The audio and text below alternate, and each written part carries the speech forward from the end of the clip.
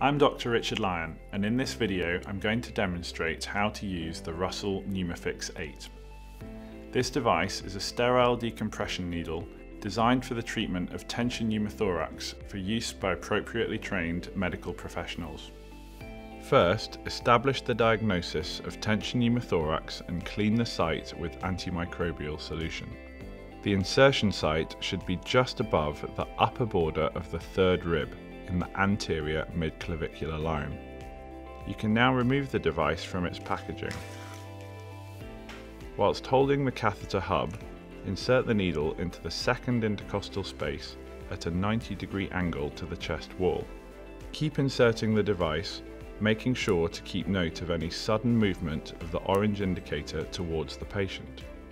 This movement indicates that the needle tip has entered the intrapleural space. Once the indicator has moved, push the whole device 1 cm further into the chest, which can be easily determined due to the depth markings.